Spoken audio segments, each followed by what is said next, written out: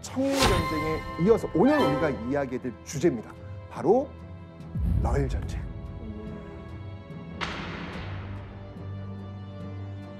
우리나라가 또 다른 나라들의 전쟁터가 또 되는 겁니다. 와 너무 화가 난다 진짜. 이거 말 조심해야 되는 건가? 어떻게 뭐 얘기를 못 하겠어. 씨. 러시아는 동쪽을 향해서 쭉 진출하겠다는 어떤 그 열망. 일본이 생각하고 있는 동북아 전략과는 지금 충돌할 수밖에 없는 거죠. 음.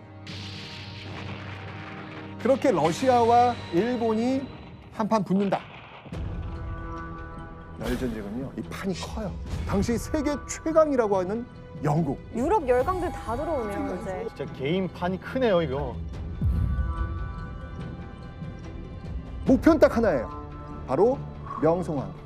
공모를 살해한 만행을 저지르게 된 거예요. 정말 이해할 수가 없다. 이 러일 전쟁 그리고 우리 대한제국의 운명을 한번 낱낱이 밝아벗겨 보도록 하겠습니다.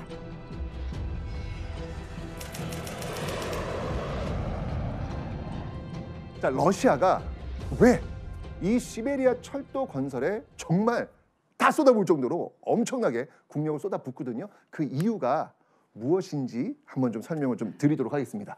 자, 아, 대략 우리는 19세기 상황을 좀 이해를 좀 해야 될 것 같아요. 19세기. 아, 그러니까 1800년대부터 1900년 요 사이 한 100년의 시간이 되는 건데 이 시간을 이게 정치학 쪽에서 뭐라고 이야기를 했었냐면 여기 나중에 이제 소설 제목이 되면서 아주 유명해진 단어가 있어요. 그 단어가 뭐냐면 바로 The Great Game. The Great Game? 예, The Great Game. 어, 처음 들어보셨나요? 전 처음 들어봤습니다. 어, 그래요? 게임이요? 게임. 해봐도 게임. 될것 같은데요. 게임, 게임, 게임. 예, The Great Game이라는 건데 열강들이 이렇게 식민지 차지하려고 게임하는 그런 느낌인가요? 맞습니다. 정확히 오. 맞습니다. 이게 The Great Game의 핵심적인 내용은 뭐냐면 이 영국 정말 이 바다를 꽉 쥐고 있는 해양 세력 영국과 음. 그다음에 특히 러시아 딱 봐도 대륙 세력이잖아요. 그죠? 이 대륙 세력 러시아와 이 해양 세력 영국이 한마디로 얘기하면 세계 패권을 쥐고 게임을 하는 거예요. 마치 체스, 체스판 놓고 말 뚝뚝뚝 누면서 게임을 한다.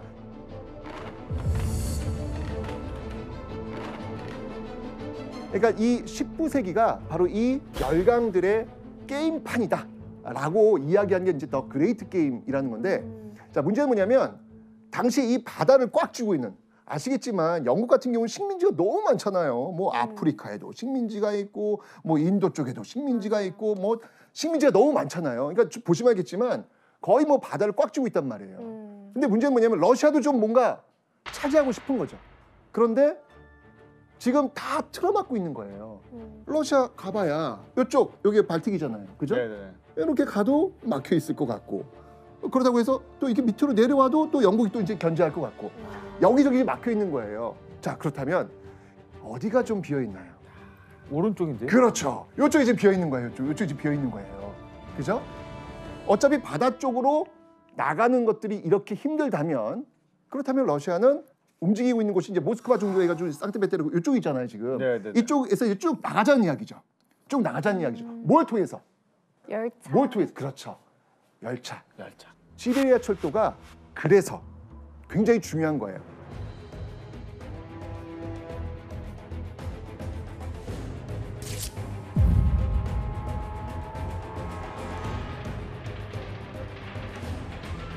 이 시베리아 철도를 통해 가지고 쭉 나가 가지고 종국적으로 이들이 얻고 싶었던 건 뭐냐면 바로 부동항입니다. 부동항이 뭘까요? 도왕? 바로 얼지 않는 항구. 아. 아니 생각해 보세요. 배를 대야 되고 배가 왔다 갔다 해야 되는데 바다가 얼어버려.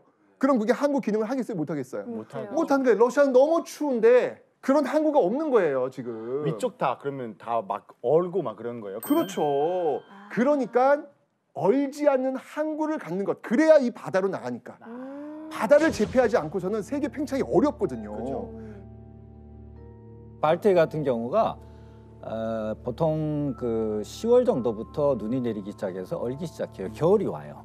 그럼 바다가 얼어붙어 버려요. 그러니까 10월부터 이듬해 5월까지는 예. 바다가 얼어 있어요, 그냥.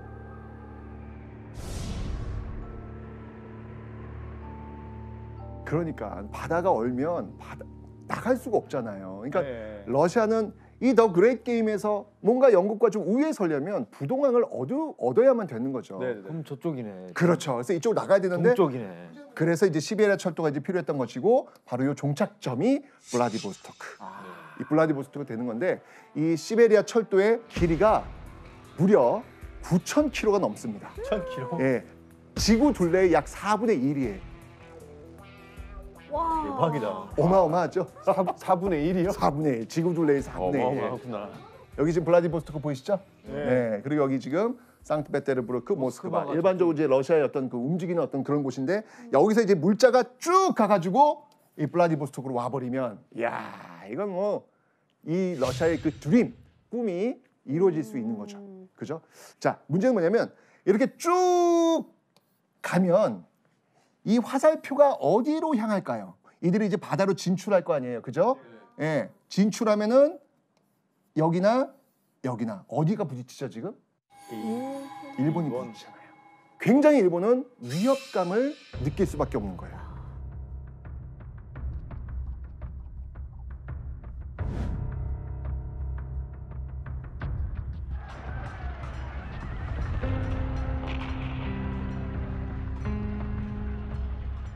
자 이렇게 되면서 이제 아, 일본은 이제 생각을 하는 거예요. 아 이거 러시아와 한판 벌여야 되겠구나. 음. 이러면서 이제 러일 전쟁의 준비에 들어가는 모습을 좀 보이게 되는 겁니다. 자, 그런데 이 러일 전쟁이라는 정말 얽히고 설킨 이 세계 역사 속에서 우리는 또 어떤 피해를 입게 되는지 러시아와 일본의 그 각축전이 벌어지고 있었던 1895년 을미년으로 한번 떠나보도록 하겠습니다. 청일 전쟁 이후 그 조선의 정세를 좀 살펴보셔야 됩니다. 자 보세요. 일본이 청일 전쟁에서 그 아시아의 패권을 가지고 있던 청나라 이겼습니다. 그죠? 그리고 심지어 경복궁까지 점령하는 사건도 있었죠. 자 이러니까 당연히 이 조선에서 왕, 뭐 명성황후, 백성들 일본에 대한 시선이 어떨까요? 아, 안 좋죠. 분노죠. 조선 사람들 첫 충격은 뭐냐면 청일 전쟁에서 일본이 이겼다는 거예요. 음. 아, 네. 아니 청나라 야 그 큰 나라가 일본한테 져? 이건 공포죠. 음. 그리고 지금 저 짓들을 하고 있으니 더 무서운 거예요. 그런데 저렇게 막 나가고 있는 일본을 가볍게 방 빼라. 누구였죠? 러시아. 러시아. 일본 네 어. 바로 나간단 말이에요. 그러니까 조선 뭐 러시아네라고 하면서 이때 대거 러시아 쪽으로 가게 되는 거죠. 러- 이번엔 러시아 손을 빌린다고? 맞습니다. 러시아입니다. 이러면서 친러파를 대거 에, 등용하고 심지어 이제 명성황 같은 경우에 당시 그 베베르 공사 러시아 공사거든요. 불러가지고 이런 국정을 상담하기도 합니다. 음. 자, 조선이 지금 이런 모습으로 러시아랑 가까워지려고 하네. 일본 어떨까요? 어이, 굉장히- 지금 일본은 어떤 상황이냐면 삼국 간섭을 통해서 요동반을 뺏겼어. 지금 뺏겼어. 다시 뺏겼어. 그런데 지금 조선이 조선이 러시아랑 또 손을 잡으려고 그래. 어떨까요? 완전 경계하겠죠. 야 요동반도 뺏겼는데 조선마저 그거는 안 되지. 조선이 어떤 곳인데 우리가 1876년 강화도 조약 때 이렇게 공을 들여가지고 심지어 청일 전쟁이라는 이 엄청난 피해까지 보면서 이 조선에 대한 영향력을 가지려고 했는데 좋다 이거야 요동 만주이 좋다 이거야 조선까지 음. 이러면서 극단적인 어떤 그 방법을 선택하게 된 거죠. 경복궁 아시죠? 네. 네. 경복궁. 경복궁 정문이 어딘가요? 정문 정문. 저 과감은? 네, 광화문. 그 광화문 밖에서 1895년 새벽에 땅 총성이 하나 울려 퍼집니다.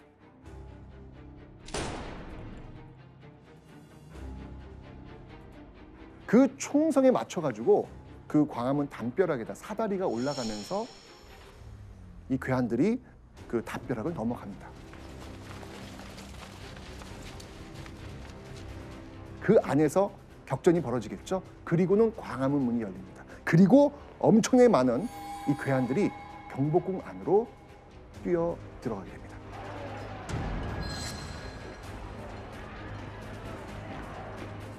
에? 뭐지? 그리고 벌어지는 사건은 을미사변 명성황후 시해 사건. 바로 일본 그 괴한들의 손에 많은 피를 흘리면서 쓰러져 죽었던 을미사변이 벌어진 바로 그날입니다. 그러니까 당시 이 경복궁이 난입하면서 정말 난리가 난 거예요. 아니 생각해 보세요. 경복궁이 지금 왕이 살고 있는 곳인데 여기 새벽에 지금 괴한들이 지금 쫓쳐 들어와가지고 지금 목표는 딱 하나예요.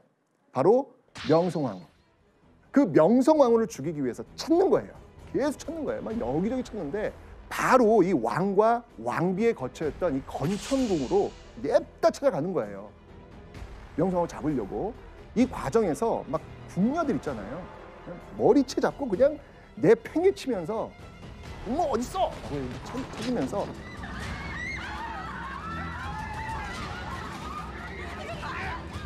이 칼로 위협하면 심지어는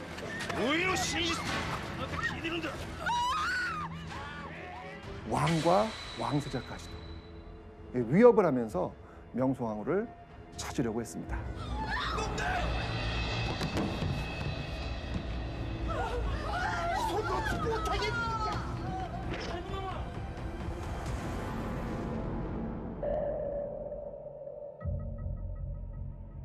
정말 엄청난 어, 이 사태가 지금 벌어지고 있는데 당시 그 주한 러시아 공사 그 베베르의 기록을 보면요 이렇게 기록돼 있어요. 뭐라고 있냐면 일본인들은 여인들의 방으로 들어갔지만 왕비의 얼굴을 알지 못했다.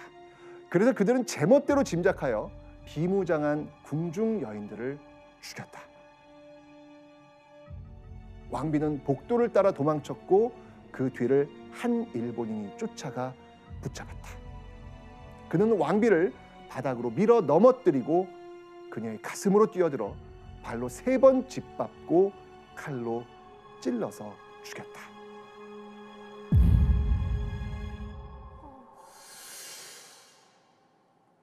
사실 이 정도의 기록에 그치질 않아요. 정말 어떤 기록을 보면 칼로 찔러 죽였다.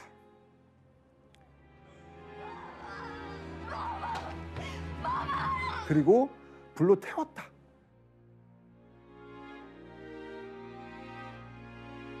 남는 건 뼈 조각 정도밖에 없었다. 라는 그 기록들이 막 여기저기에 있습니다.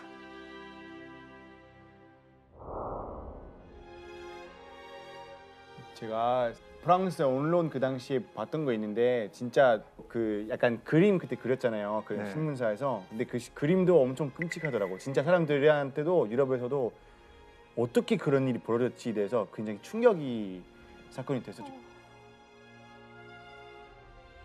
이렇게 다른 나라에 지, 이게 지휘자를 그렇게 좀 가서 말이 안 되는 거죠. 그 말이야. 그러니까 얼마나 치욕적이에요. 이게 지금 있을 수 없는 일이 벌어진 거잖아요. 그렇죠. 근데 이제 많은 분들이 또 오해를 하시는 게 있어요.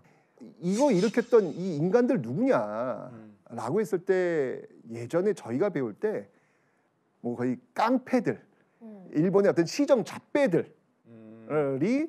이걸 했다라는 식으로 저희는 사실 어렸을 때 배웠거든요. 음. 전혀 그렇지 않아요. 전혀 그렇지 않아요. 이 사람들이 어떤 사람들이냐면 그 당시 일본인들의 그 엘리트들 있잖아요. 그 엘리트들로 구성이 되어 가지고 이 일을 저지른 거야. 이건 뭐냐면 조직적이고 계획적이었다는 이야기예요.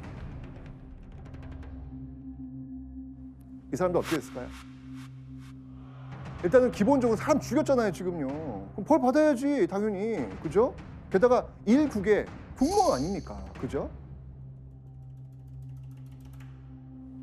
무죄 방문. 그리고 좋은 자리에 올라가는 모습들도 보입니다.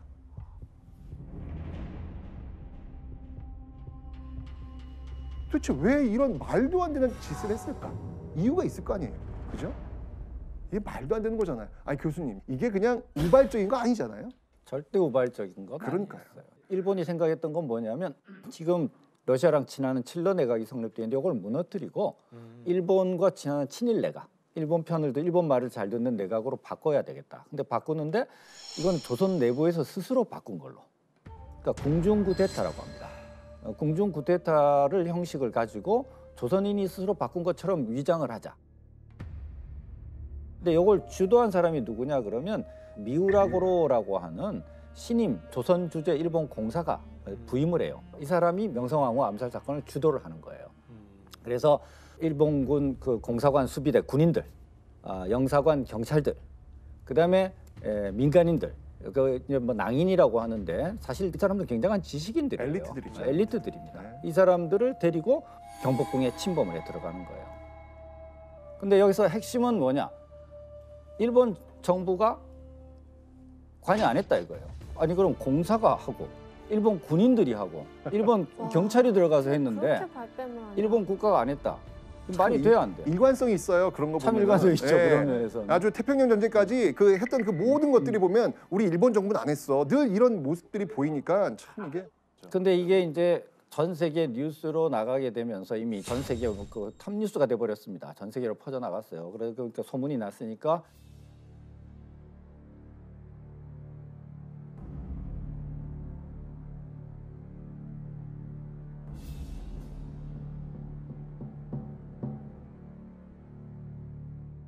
일본도 처벌하지 않을 수가 없었어요. 그래서 미우라 공사를 비롯한 관계자들을 전부 어, 일본으로 송환해서 체포해서 어, 일본 군사법정에 세웠어요. 세웠는데 결과는 무죄 방면입니다. 이유는 증거 불충분. 그 다음에 또 하나 이유가 뭐냐? 이미 조선에서 진범을 색출해서 처벌을 했다. 조선 사람 세 사람을 진범으로 처형을 했으니 이 재판은 성립이 안 된다라고 해서 무죄 방면. 그러니까 이제 을민사변 나오면서 그러니까 내가 얘기했잖아요. 이거 외국의 시선이 또 이게 두려운 거예요. 이걸 어떻게 해결할까? 바로 명성황후의 남편 누구죠? 고종. 이 고종을 또 밀어붙여요. 압박을 해. 어떻게 했냐면 명성황후의 그 왕후주의를 박탈해서 폐쇄인 삼아라. 그러니까 이거 원래 그 저 국모의 위치에서 내려 뜨려라. 이제 이런 압박을 하게 됩니다. 자, 그러면 일본이 내민 이유가 여러 가지가 있는데요. 당시의 내용이 여기 고종실록에 지금 실려 있거든요. 그 내용을 한번 좀 보도록 하겠습니다. 민 씨는 오래된 악을 고치지 않고 그 패거리와 보잘것없는 무리를 몰래 끌어들여 짐의 동정을 살피고 국무 대신을 만나는 것을 방해하며 또한 짐의 나라의 군대를 해산한다고 짐의 명령을 위조하여 변란을 격발시켰다. 그러니까 명성황후가 평소 조정의 기강을 문란하게 하면서 왕실을 위험에 빠뜨렸기 때문에 이 변란이 일어난 건 이건 다 누구 탓? 명성황후 탓이라는 거예요. 명성황후 탓이라. 와 너무 화가 난다 진짜. 근데 여기 그치지 않고요. 이 폐서인으로 삼는데 또 다른 이유 있다. 자 여기서 제가 한번 문제를 한번 내보겠습니다. 아직 문제 안 푸셨잖아요 지금 그죠? 어, 예. 문제 한번 내볼게요.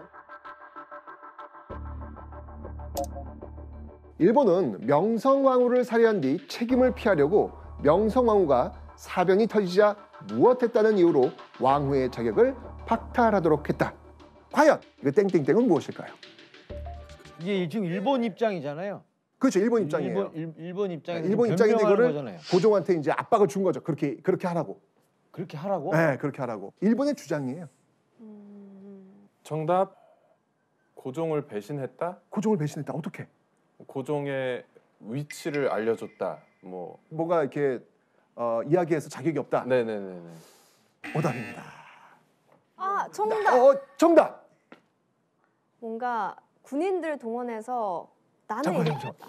그 군인들이 난리 일으켰잖아. 그 다음에 명성황후가 뭐했죠? 그게 답이야. 그게 답이야.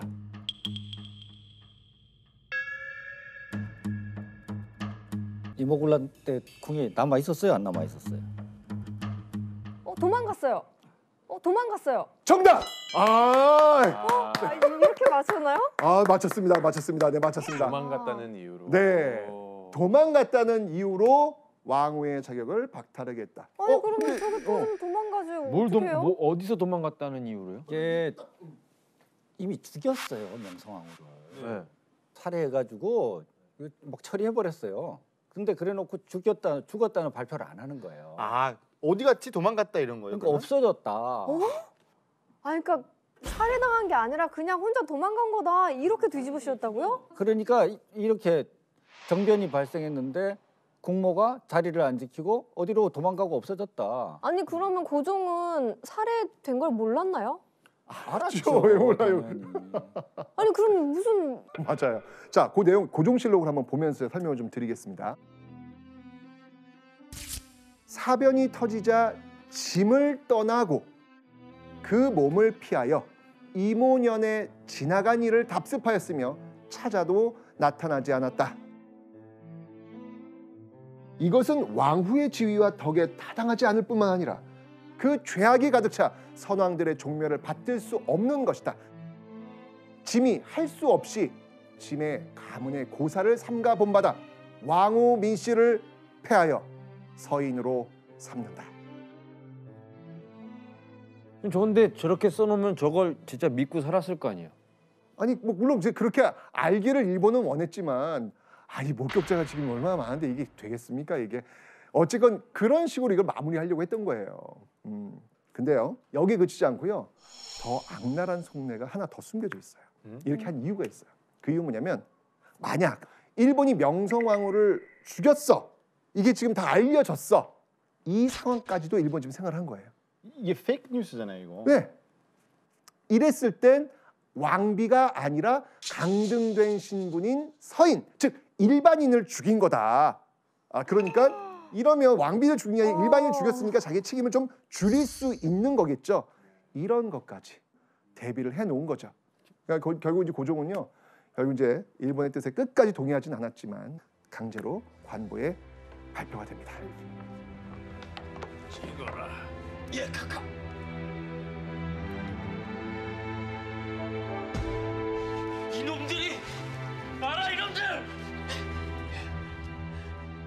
저거는 이제 나중에 고종이 번복해요. 뭐냐면 일본의 강요에 의해서 저런 식의 기록이 남고 저 사실 자체는 나중에 번복이 돼요. 네. 고종이 뒤집어요. 다행이네요. 다시 번복을 해요? 예, 번복합니다. 그러니까 명성황후 자기 부인이 저렇게 살해가 되니까 뭐 공포죠, 두려움이죠. 아, 나도 죽을 수 있겠구나. 그 시점에는 뭐 일 자체를 할 수가 없었다 그래요. 음. 그냥 공부에 바들바들 떨고 있는 어떤 그런 모습이었고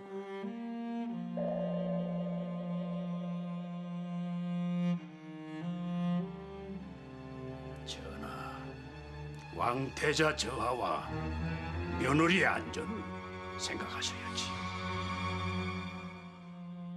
또 이 신변의 위협을 느껴가지고 또 열쇠를 채운 통 있잖아요. 열쇠를 딱 채운 통 거기에 이제 음식을 넣어 보내주면은 그것만 드셨대요. 예, 그 외에는 왜냐면 다른 음식 먹고 또 죽을 수도 있다는 어떤 그런 위협감이 있었던 것이죠. 자, 이런 어떤 하루하루를 보내고 있는 과정에서 이제 고종은 선택을 하게 됩니다. 어떤 선택? 예, 다섯 번째 선택인가요? 첫 번째 선택 이모군란 때 청나라한테 SOS, 두 번째 갑신정비 때 청의 도움을 받았고 세 번째 동학농민 운동 때 또 청의 SOS, 그리고 네 번째 삼관섭 이후에 러시아에 또 SOS, 그리고 지금 또 다섯 번째 러시아한테 도움을 요청하는데 바로 궁을 떠나는 것. 그 궁을 떠난 거예요. 그리고 어디로 갔냐면 바로 러시아 공사관으로 훅 들어가 버린 거예요. 이걸 뭐라고 하냐면 당시 그 러시아를 뭐라고 불렀냐면 아라사라고 불렀거든요. 아라사. 아라사? 아라사. 예, 아라사로 불러가지고 아라사 공사관에 임금이 들어갔다라고 해서 아관파천, 아관파천이라고 하는 겁니다. 어떻게 보면은 명성황후와 민씨 세력들이 러시아를 선택했던 것의 연장선이라고 보시면 돼요. 예, 또 러시아의 도움을 받기 위해서 간 거죠. 그런데 러시아 입장을 한번 보자고요. 러시아는 지금 어떻게든 만주와 요동 또 이 조선을 통해 가지고 지금 태평양 쪽으로 나가야 된단 말이에요. 나가야 되는데 지금 일본과 지금 어쨌건 간에 신경전을 벌이고 있어요. 그런데 그 조선에서 일국의 왕이 일본을 피해서 러시아 공사관을 오려고 해. 좋아할까요? 안 좋아할까요? 어 thank you겠네. 오, 예. 좋아요. 진짜? 어, welcome 예. 이거야? welcome. 어. Welcome. 조선 그냥 내 거 됐네 뭐 이런 느낌이네. 고종하고 세자는 새벽녘에 호위병도 없이 극비리에 경복궁 영추문을 빠져나와 가지고 러시아 공사관으로 이동합니다. 감시가 좀 서- 허술했네요. 그니까요. 뭐 이렇게 보통 가마부터 뒤지지 않아요? 왜냐하면 임금이 여자들 타고 다니는 그 가마에 타고 간다는 게 이게 상상이 안 되죠. 이게 임금이. 그때 당시에는 파격적인 어떤 작전이었던 거죠. 그러니까요. 어떻게 보면 여장한 거하고 똑같은 거예요. 네, 네. 아. 그러니까 임금이 여자 옷으로 갈아입고 나간 거랑 마찬가지인 거죠. 그렇지. 자, 어쨌건 이렇게 러시아 공사관으로 갔는데 몸은 당연히 보호받겠죠. 오, 당시 그 양대 산맥이라 할 수 있는 러시아 품에 들어왔으니 이제는 가슴을 졸이면서 살진 않아도 되겠죠. 그런데 제가 전시간에 얘기했잖아요. 외교에는 뭐가 붙는다고요? 영수증. 영수증이 붙는다고요. 공짜 없어요. 존재하지 않아요. 당연히 러시아가 고종을 딱 이렇게 보호하고 있으니 러시아한테 뭐 줘야 될 거 아니에요. 그죠? 이때부터 이권들이 엄청나게 많이 러시아 쪽으로 넘어가요. 무모한 짓을 하면서까지도 자신의 목적을 이루려고 했는데 헐 고종이 러시아 공사관으로 가버렸어. 일본 어땠을까요? 발동동. 발동동. 싸워야 되나? 당시 상황을 그 미국의 선교사 헐버트가 뭐라고 표현했냐면 그들의 노력은 어처구니 없이 허사가 되어버렸다. 왕은 스스로 러시아의 품에 자기의 몸을 던졌으며 모든 한인은 일본에 대해 열화같이 분노했다. 임진왜란 당시의 민족 감정을 방불케 했다.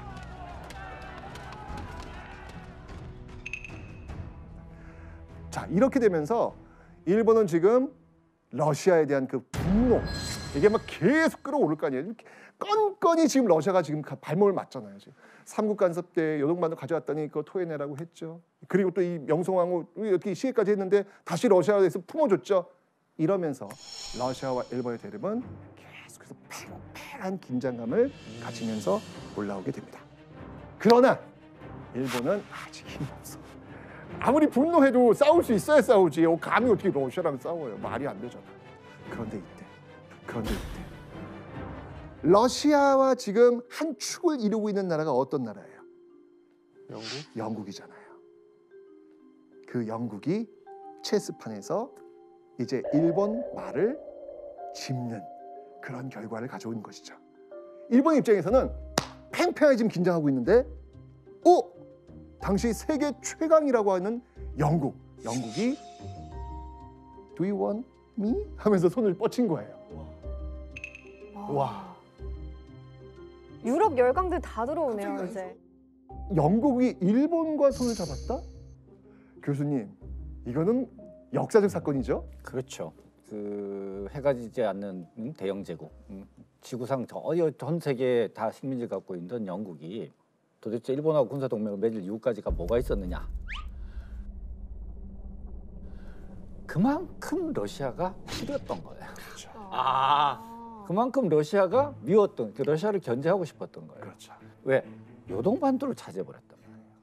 태평양으로 내려오는 부동항을 얻어버린 거니까 여기서 이제 영국은 도저히 참을 수가 없다가 된 거고 근데 그 당시에 미국 가만히 있, 막 아무것도 아니었어요? 미국은 영국의 파트너입니다. 이 당시에는. 아 일본은 영국뿐만 아니라 미국의 지원도 받게 되었다 하는 의미가 되는 겁니다. 엄청난 겁니다. 요 관련 그림 제가 한번 삭발 한번 좀 보여드리도록 할 테니까 한번 보시면서 딱 그거네 아마 느낌이 오실 거예요. 자, 요 그림 아주 유명한 그림이죠. 자, 지금 우리가 이야기했던 걸 그냥 함축적으로 지금 보여주고 있는 그런 그림입니다. 왼쪽 왼쪽에 있는 게 어느 나라일까요? 러시아. 그리고 칼을 들고 있는 일본. 자, 그런데 뒤에서 야 이렇게 이렇게 들어가. 영국이 밀고 있는 건가? 영국. 그리고 뒤에서 미국이 이렇게. 어, 이렇게 바라보고 있는 모습. 지금 저희가 지금 이야기했던 또 그런 모습이 아닐까. 아주 국- 국제관계를 어, 제대로 지금 표현해 있는 내용인데. 자 그렇다면 자 이 영국, 일본 동맹을 맺었단 말이에요. 영일 동맹의 내용이 무엇인지 한번 살펴보도록 하겠습니다. 자, 제 1조 한번 보세요. 영국과 일본이 서로 청국과 한국의 독립을 승인한다. 독립? 독립. 독립이란 말이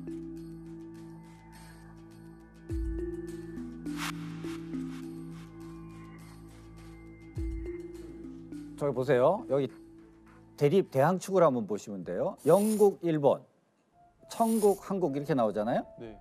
그럼 한국의 이권은 누가 주장을 해요? 일본. 일본. 그러면 대칭축이 어떻게 돼요? 천국에서 가장 많은 이권을 갖고 있는 나라는 영국. 영국인 거죠. 그러니까 일본은 왜 자꾸 이 조선을 독립 말만 들으면 좋지? 이 이유가 뭘까요? 그러니까 다른 나라한테 한국 건들지 마 우리 거니까 이거 아니에요? 그렇죠. 정말 누구 맘대로. 이렇게 뜻밖의 우군 정말 영국이 일본과 손을 잡았습니다. 자 이제 일본은요 이제 마지막 장애물이라 할 수 있는 러시아를 딱 치워버리면 이제 우리나라를 침략하는 건 뭐 거칠 게 없는 거죠. 그런 상황이 벌어지는 겁니다 지금. 자 과연 이 당시 만평을 한번 통해 가지고 당시 상황을 한번 추측해 보도록 하겠습니다. 일본이 지금 밟고 있는 곳을 보세요. 음. 어 불어로 써 있어요. 거해. 네. 지금 일본과 조선을 대한제국을 이렇게 밟고 있는 모습. 저 위쪽에 만주를 러시아가 지금 밟고 있는 모습. 체급 자체가 안 되죠 지금? 아 그 러시아인으로 생각할 수 있는 그 큰. 거인분이 위다가 여기 음. 유럽 챔피언이라고 써 있어요. 유럽 챔피언 써 있잖아요 지금 여기 네. 유럽 챔피언 벨트에 지금 네. 그죠? 아하. 그리고 아시아 챔피언이네. 그죠 여기 지금 보면 아시아 챔피언, 유럽 챔피언 있는데 저 뒤에 지금 관전하는 나라들 보세요. 저 메뉴에 천막 위에 있는 거 보여요? 아 청나라. 청나라 이제 끼지도 못하는 거야 이제. 여기 가야 이제 끝난 거야. 여기. 그냥, 그냥 멀찍이 보고 있는 거야. 청일 전쟁이 끝난 거야 여기는 완전히. 교수님, 네. 뭐 당시 러시아, 일본 뭐 군력 차이든 뭐 이거 뭐 보자도 엄청나죠. 전체적으로 이제 군사력만 보더라도 차이가 굉장히 많이 났고요. 사실 야 전쟁이 일어날 수 있, 있을까 이런 생각을 하는데 일본이 어마어마하게 철저하게 준비를 합니다. 사실 음. 철저하게 준비를 해서 그냥 거의 그 국가 예산의 40% 아, 40%를 군사비로 와. 왜그 올인이라고 하잖아요. 아, 진짜. 네, 이 올인 한 거예요. 여기에 지금 모든 걸 다 건 거예요. 와, 네, 일본 스스로도 러시아를 이길 수 있을까 없을까 이게 긴가민가한 상황인데 자 이럴 때 늘 쓰는 방법이 있죠. 이게 참 패턴이 비슷합니다. 우리가 이 태평양 전쟁을 할 때도 그랬고 청일 전쟁 할 때도 그랬고 러일 전쟁 할 때도 똑같습니다. 갑자기 치기 기습. 정답. 갑자기 치기. 갑자기 네. 빡 그냥. 그렇지, 그렇지. 아, 잘했습니다. 아. 선전포고 없이 선제 공격. 늘 쓰는 방법이. 자, 그들이 공격한 곳, 그들이 공격한 포인트. 포인트는 자 어디일 것 같아요? 첫 번째, 뤼순. 뤼순 정답. 아, 그렇죠. 뤼순. 뤼순 정답. 아, 그렇죠. 여기 여기 여기 여기 여기 뤼순 쳐야죠. 왜냐면 여기 지금 러시아가 지금 갖고 있잖아요. 지금 쫓아가고 있잖아요. 그죠? 여기 이제 출발이고 또한 곳. 조선이네요. 그렇죠. 그렇죠. 아 아 인천. 그렇죠. 이 루이순과 인천을 타겟으로 잡고 동시에 치고 들어옵니다.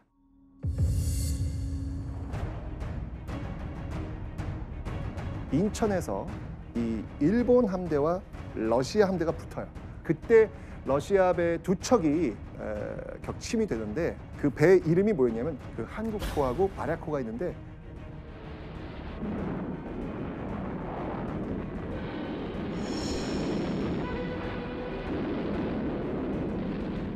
결국 두 대는 격침됐고 그리고 그들은 스스로 자폭을 합니다.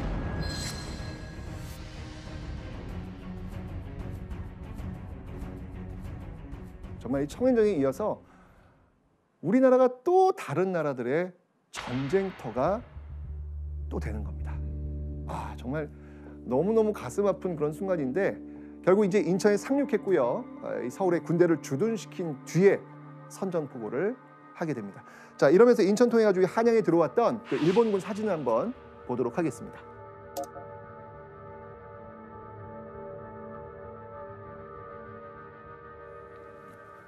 어, 그 당시 사진이에요 이거? 네. 몇, 몇 년도인 거죠? 1904년. 네, 1904년의 모습이에요. 우리 할아버지 할머니들 보이시잖아요 지금. 어... 할아버지 할머니들. 이게 너무 대조돼서 좀 그러니까. 슬프네요. 아, 이게 참. 하, 이 사진 보면 너무 가슴이 아프지 않아요? 이게 이렇게 행진하고 있는 모습을 지금 우리 백성들이 지금 이렇게 바라보고 있어야 된다는 이 모습이 아, 너무 참 가슴을 아프게 하는데 인천에 상륙해 있던 일본군 중 그 사단장의 장교들이 고종을 직접 찾아가서 군사적 힘으로 압박하면서 이런 공포 분위기 속에서 한일 의정서라는 것을 체결을 합니다. 아, 시험에 정말 잘 나오는 한일 의정서가 바로 이제 여기 등장하는 거예요. 한일 의정서에 어떤 내용인지 한번 살펴보도록 하겠습니다.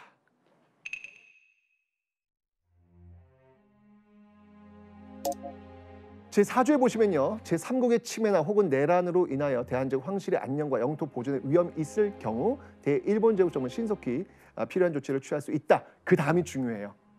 대한제국 정부는 위 대일본 제국의 행동을 용이하도록 충분한 편의를 제공한다. 그리고 군사 전략상 필요한 지점을 상황에 따라 차지하여 이용할 수 있다. 이게 핵심이에요. 그러니까 일본이 필요한 군사 전략상 필요한 지점을 이- 저기 상황에 따라라고 번역돼 있는데 어, 원문에 의하면은 내 마음대로 해요.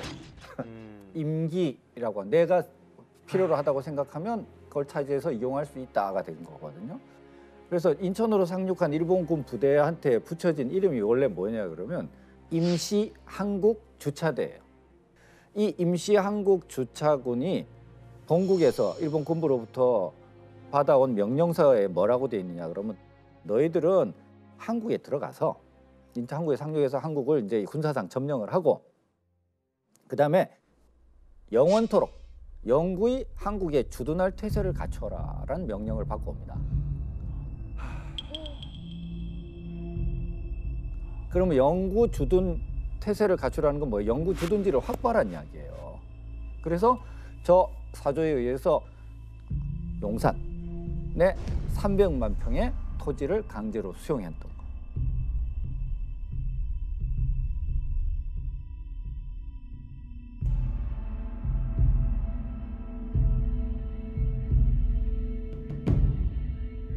거. 그게 용산 기지의 역사적 출발점인 거예요. 아직까지 그러면 그 미국 군대에 있는 그, 그 거기 그 그렇죠, 기지에 그렇죠. 원래 일본 군들이 일본 군들이 이 러일 전쟁 때 에, 한국에 영구 주둔하기 위해서 빼앗은 땅이 바로 용산이에요. 상징적인 곳이죠. 네. 러일 전쟁이 시작됐다. 러일 전쟁의 발발 이꼴 일제 강점기의 시작이다. 한국 식민지화의 시작이다라고 어, 이해를 하시면 될 거예요. 근데 아까 우리가 이야기했지만 일본은요 정말 모든 걸 걸고 일본은 지금 부딪힌 거예요. 그것도 기습으로. 러시아 데스가 당황하죠. 당황하죠. 예, 당황하죠. 밀리는 거예요 이게.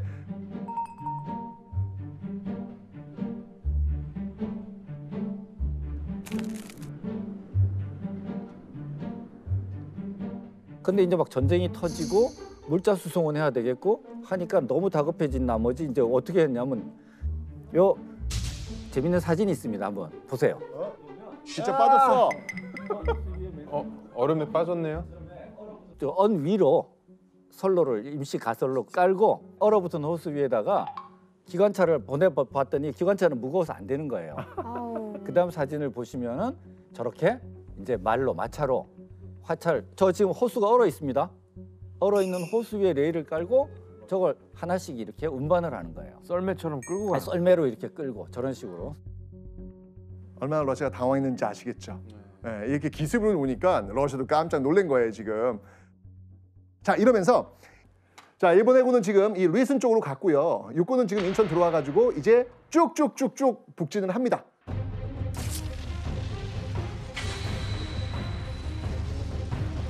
이 러시아군의 주력을 압록강 건너로 퇴각을 시키고요. 압록강 인근의 그 구련성과 이 봉황성까지 차례로 함락시키면서 일본군은 드디어 이 한반도에서 주력군을 몰아내는데 성공합니다. 자, 그런데 그런데 지금 러시아와 일본이 지금 들어와서 서로 싸우고 있는데 여기는 지금 러시아 땅도 아니고 일본 땅도 아니에요. 지금 양측은 모두 군수 물자가 필요할 거 아니에요. 그죠? 그 군수 물자 어디서 뽑아오려고 할까요? 조선. 당연하죠. 이 땅에서 이 땅에서 군수 물자 다 동원하려고 할 거 아니에요. 그거 누가 나를까요? 우리나라 사람. 그렇죠. 우리나라 사람들이 동원돼야 되는 거예요. 그럼 양쪽에다 날래? 그렇죠. 이건 뭐 불을 보듯 뻔한 그런 모습이잖아요. 그죠? 이 고통에 그냥 우리는 널브러져 있는 거예요. 이런 얘기도 있어요. 일본인들이 우리 조선인들 그 동원할 때, 아, 이 얼굴에다가 페인트 칠을 했답니다. 어떤 사람은 빨간색, 어떤 사람은 파란색. 그 페인트 칠이 뭐냐면 페인트 칠이 그들이 나르는 군수 물자의 분류예요, 분류. 빨간색은 탄약통, 파란색은 또 다른 거.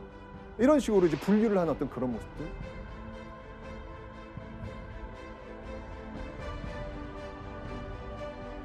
아, 러시아와 일본이 벌인 이 19개월의 전쟁 중 두 나라 땅에서 일어난 전투는 과연 얼마나 될까요?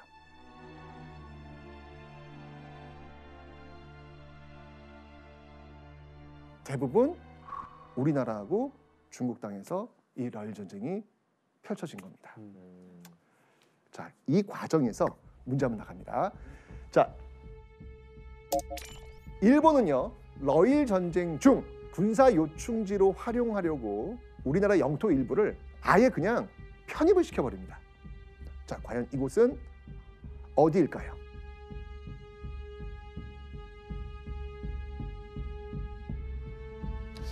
음, 어디일까요? 정 답. 그래도 뭔가 어. 이제 그럴싸한 거여야 되기 때문에 네, 영토 있는 거 가져가면 조금 반박했을 것 같은데 그렇죠. 썸은 그래도 음. 제주도를 아, 제주도를 그냥 우리 땅이다. 러일 전쟁 중에 이거 우리 땅이다 하고 가져갔다. 네. 제주도 틀렸습니다. 어디가 있을까요?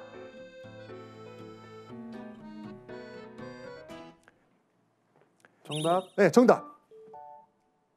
독도 정답. 정답. 오, 야. 어, 아니 참 무심하게 맞추시네요. 아니 저도 그 생각하긴 했는데 너무 작잖아요. 아, 왠지 아, 왠지 그냥 흐름상 롯데. 어, 이런 질문이 나온다고? 어, 왠지 여기서 독도 얘기가 나올 것 같아. 어, 야. 신내렸어. 독도하면 이 러일 전쟁이 딱 이렇게 연결이 되시나 보다. 아니 아, 아니에요? 아, 그냥 그냥 한번 느낌상. 맞춰봤어요. 아, 네. 근데 정확히 맞추셨어요. 아, 네, 네. 바로 독도입니다. 그러니까 러일 전쟁이 한창이던 1905년 1월, 일본은요 이 동해에서 움직이는 그 러시아 함대를 감시하겠다라는 목적으로 독도를 다케시마라고 부르면서 이 시마네현 소속의 도사가 관할한다라고 아. 결정을 합니다. 그리고 곧 이어서 시마네 연구시 제 40호를 발표했는데요. 그 내용은요. 독도를 군사 요충지로 활용하기 위해서 일본 영토로 편입하겠다는 것이죠. 그러면 그 일본의 다케시마 주장이 저 때부터 시작된 거예요? 그렇죠. 네, 여기서 그냥 항상 늘 이야기하는 그 유명한 시마네현 여기 나온 겁니다 지금. 그럼 무효지. 그리고 몇 개월 뒤에 그 독도에다가 망루를 딱 세우고요. 아, 울릉도 독도를 거쳐서 일본 시마네현의 중심지 마스에라는 지역까지 연결되는 군용 통신선 체계를 완성해 버립니다.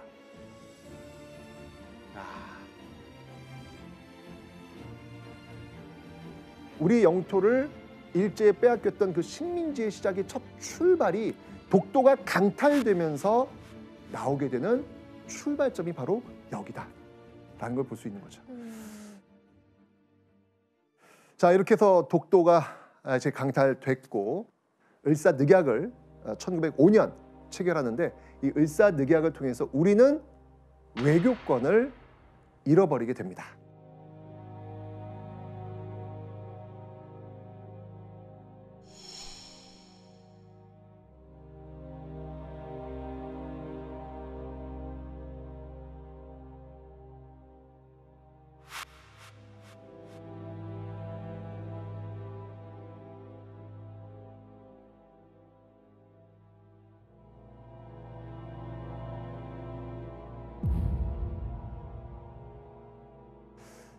외교권을 잃어버린다는 게 어떤 의미가 있는지 한번 말씀해 주시죠. 예, 그 우리가 자, 자주 외교를 할 수가 없으니까 한국에 들어와 있던 외국 공사관들이 다 철수해요. 미국 공, 공사관부터 시작해서 프랑스, 뭐 러시아 다 나가요. 다 나가고 이런 나라들이 한국하고 외교를 하기 위해서는 어디를 거쳐야 돼요? 도쿄를 거쳐야 돼요. 일본을 거쳐야 되는 것이고 이러면서 이제 대한제국은 국제적으로 고립돼 버리는 거죠. 야 이제는 정말 대한제국이라는 나라가 망했구나 하고 일반 사람들도 느끼게 됐던 어떤 그 계기가 이 1905년 을사년이에요.